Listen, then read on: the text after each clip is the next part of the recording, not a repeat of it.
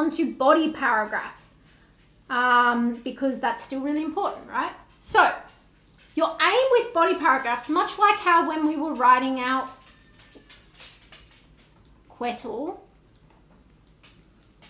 Harry. Hey, Harry. Oh, my dog just visited the doorway and left me. How it was going kind of down until the link kind of brought it back up. Um,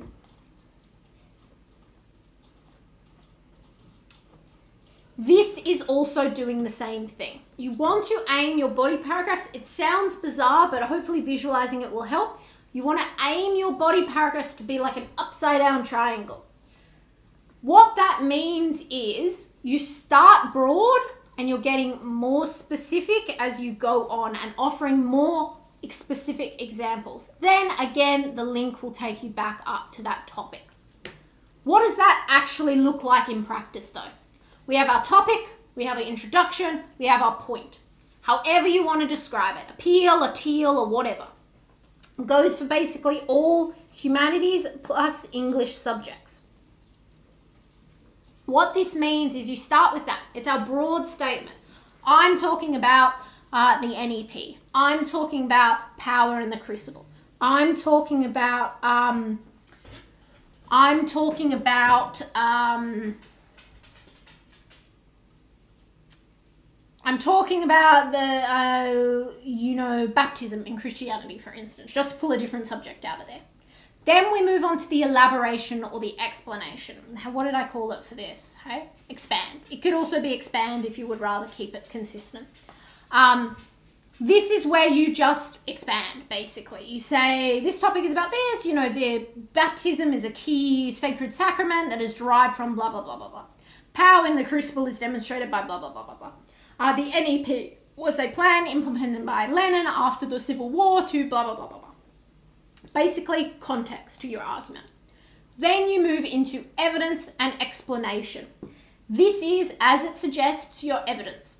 Um, it is all about saying, here is what I have to prove my point, and then I'm going to elaborate on it. I maybe should have swapped elaborate and explanation down, but that's fine. And you're going to do that as we're going to come to three or four times. You want three or four pieces of evidence and explanation in each body paragraph. And then you just link it back. Now, because I'm so nice, I've also color coded this. So we look, we got Quetzal. We got Kitty. And then you can also use peel or teal. Now, obviously, you've all used come across peel or teal before. I'm sorry, the purple doesn't stand out as well there. Or you may have come across like P, where they repeat the E's heaps, or T, or whatever. Um, and there are various others. There's pet or whatever. Not the point. The point is, is this can be used for any essay subject. What you'll notice is that the colors kind of all correspond. The question and the keywords and the topic, they're all red. They're all about getting what what am I actually saying? What is my answer? What am I actually focusing on here?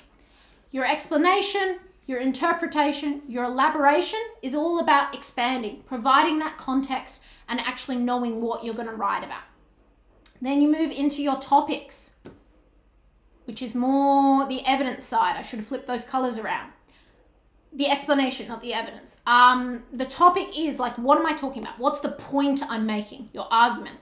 Then you have your argument, your content, which is the blue in this case, and how that kind of links. What am I bringing up in order to support my individual argument? Then your link, your element, your link, or your elective. And it all kind of links together. Now, that's all really ugly, so I'm going to clear but you can kind of see, right? It flows through the same pattern. So let's take a look at how we might structure a body paragraph and then I can spend about 10 minutes on questions. Um, and I saw someone asked, is there any way I can record this lecture? Um, so absolutely, this lecture is recorded. Obviously it's being live streamed. What you should be able to do is after this lecture ends, you can go back and watch the thing again or reload the page and then go back and watch the lecture again. Uh, so you don't have to say goodbye to my voice forever if you don't want to. That's my first cough of the day. I'm normally really bad at coughing during lectures.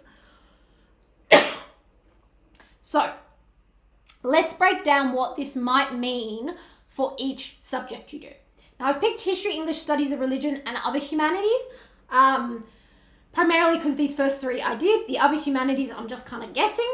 Um, but it is basically demonstrating that this rough theme works for every essay subject, basically. This rough pattern, this rough method should work for you no matter what you're studying.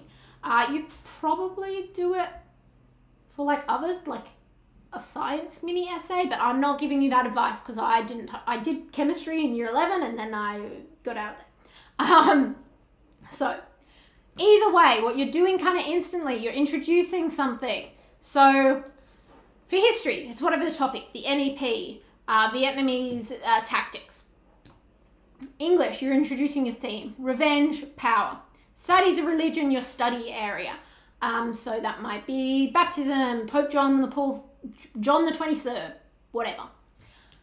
Other humanities introduced topic, you kind of get the gist by now, um, but it might be young offenders protocols or globalization. As you can see, I didn't do it, but hopefully you can kind of make that link. Your second step, your orange step, I'm going to change my color, is the explanation bit. What is the NEP? What were, why does it matter that Vietnamese combat tactics were used? English, it's about linking to context or purpose. Why has Arthur Miller decided to explore power? Why does Shakespeare need to make a point about revenge and forgiveness? So, elaborating on that. Studies of religion, similar principle. Why do we care about baptism? Why do Christians do it? Why do Muslims go on Hajj? So, what is the connection to the religion or the faith? Other humanities, why do we study young offenders protocols? I'm not sure. Again, I'm not sure. I can't think of it off the top of my head, so I can't unfortunately give you a random uh, analysis off the top of my head. Um, then we move on to our blue and green bit. Now, this is admittedly where it gets a little bit funkier because it flips a little bit. Because obviously you're going to have within, as I've said, we've got three or four for each, right? Including for studies of religion. Obviously, you can't, you're not just chucking four quotes in and going, yeah, that's good enough. What we need to do is move through and actually accurately go, this is what I'm pointing out, this is my evidence to support. It gets a bit funky because I've ordered quote, impact, source, explanation, evidence, analysis. But you can also think of it as like point or argument, quote, impact, argument, source, analysis, whatever you want to do. Um, so we have our green, which is our topic, basically. What are we bringing up? Impact, explanation, analysis. Why does this piece of evidence I'm bringing up add to my argument? Why does this quote I'm bringing up add to the purpose and the theme? Why does this source explain the importance of baptism to a religion? Then we move on to our evidence. This is straightforward. This is, you know, a statistic, a quote with a technique, uh, a Bible quote or a theologian quote, a specific uh, legal case. Um, then finally, we go our link. And that just links all the way back to what is our point, right? The quote, the impact, the source, the evidence, etc. As I've said, we want to be doing that three or four times per paragraph. I probably should have picked a different color there, but that's fine. Three is the minimum. That's the goal. Ideally, four. Best best essays will have four. Obviously, it depends. If it's a 15 mark essay, you're not going to get four in every paragraph. Um, but if it is a regular 45 minute essay, a 20, 25 mark essay, your goal is three paragraphs of four pieces of evidence or four arguments, basically. And now you can see it nice and colorfully, properly. Um, so you can see how it works. It all kind of matches. Now, because I want to answer some questions, I'm not going to go through these paragraphs, but you can see they're very nice and colorful. As you can see, it's not necessarily that I follow the order of, this is a history one, of green, blue, because we have kind of green, blue, green, blue, green, blue, green. So it kind of is a bit funky. And we have quite a long link. That's okay. It doesn't have to fit exactly with this structure. This structure is a guide to help you tick basically all the boxes. Same with this one. This is an English paragraph. Ignore the numbers. That's to signal something else, and I didn't want to delete all the numbers. Red, yellow. If you were do in my Crucible lecture this afternoon, this was one of the paragraphs. It looks a lot nicer when it's not black and white. Um, yellow, green, blue. So again, English here, I actually said blue, green, quote impact, but here we've got green, blue, uh, green, blue, green, blue. So we flipped it a bit. That's okay. Another, no, this isn't history, this is a religion. Uh, green, blue, heaps of green, blue, little bit of green, little bit of blue. As you can see, it's not necessarily even, it's not necessarily accurate, and that's okay, provided you're mixing it up. Um, and as you can see, there's obviously a link missing here, but that's because I cut the body paragraph in half. Um, it's not perfect, the colors aren't necessarily equal, but that's not the point. The colors are a guide for you to be able to tick off all the things you need to do. Finally, we move on to our conclusion. I like to think of this as the mic drop moment for your essay, um, which is effectively you should be able to put your pen down at the end of your essay and be like, hell yeah, I nailed that. Um, that's effectively should be your goal. It's short, it's simple. Generally, it'll be restate your thesis and your arguments. Sometimes you can also add a little bit of flair at the end. To be honest, I cut off the flair. This, this conclusion did have a flair, um, bit of flair to it, and I deleted it because it just complicated my vibe. Um, but as you can see, thesis, arguments. So that's the Q. The arguments is a T there. We're still following the same color pattern just to make it easier.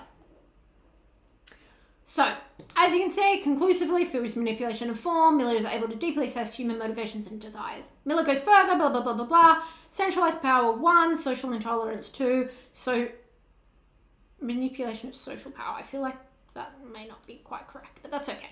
Not the point. Uh, here, we've actually flipped it for modern, um, that the social so we have our kind of thesis here. Thus, Soviet foreign policy was only partially successful. Uh, the survival of the Soviet state over the spread of socialism, basically. Uh, through the militaristic, strategic, diplomatic, and socio-cultural factors that impacted were impacted by Soviet foreign policy. Uh, as said, aims were fundamentally incompatible. So still arguments, we've just flipped it around. Now,